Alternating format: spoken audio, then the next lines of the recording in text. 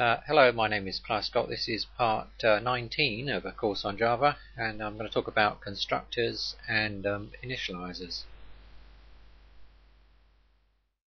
Okay, this is what I'm going to cover. Um, uh, start with a few basic facts about constructors, uh, then deal with um, super and this as um, as calls, basically, not as uh, not as references. Um, then um, instance initialization blocks and um, uh, there's some prohibition in instance initialization blocks on what you can do in terms of forward references and I'll discuss that there. Uh, then some details about exceptions in instance initialization.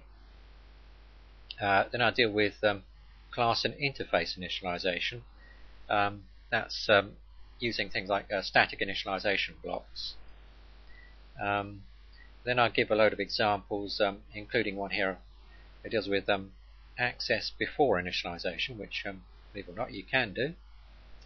And um, uh, then I'll talk um, about startup. I haven't actually mentioned until now anything about startup, so I thought I'd put it in here because it's got to go in somewhere. So uh, this should all be pretty well known to you anyway, but uh, I'm going to talk about it there. Alright, just a few uh, basic facts on constructors, just to recap what we already know. Uh, they're used, of course, to initialize instance variables. Um, you've also got access to static stuff as well, by the way, of course.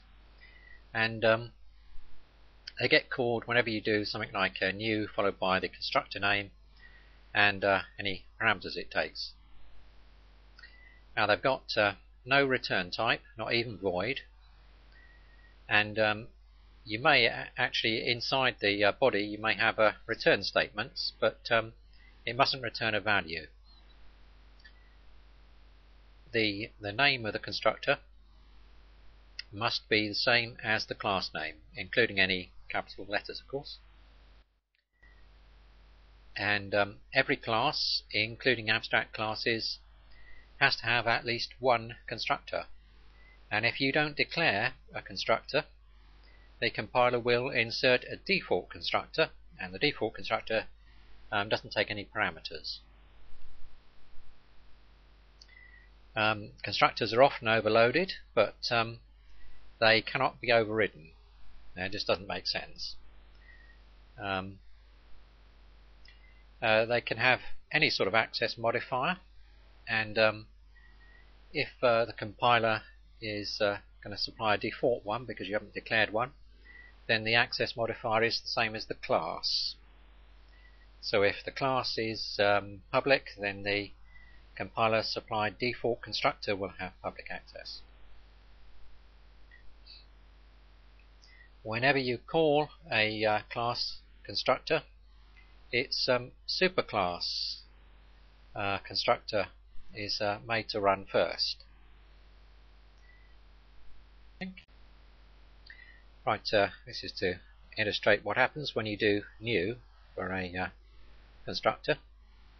And uh, what we've got here is uh, class B with a constructor in it, and uh, class A extends B and it's got a constructor as well. So when you do new A, this is what happens.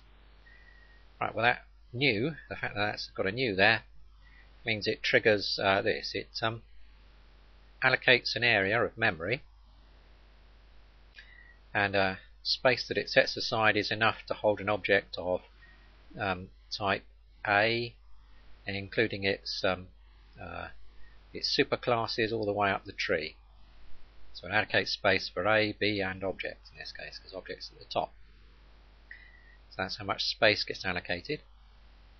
And uh, then it um, uh, sets the initial values of uh, that area to um, its initial values. So um, as you know, primitive um, types, the initial value is default value is 0, and uh, for references, the default value is null, which is almost certainly 0. So effectively what it does is 0 the area out that's allocated. And then, um, then it calls A, like that, and um, it passes into A um, the uh, implicit uh, object reference it passes in is for that allocated area. And the first thing A does is call um, the constructor of the superclass. So the first thing it does is call B like that, again passing in the same reference. This continues all the way down the tree to object.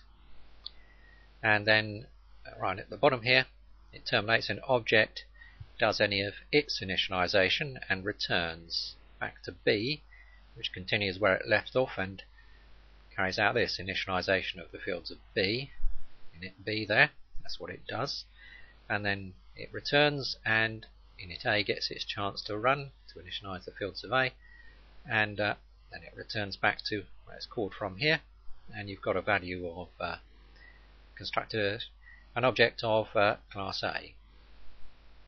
And uh, that's how it's done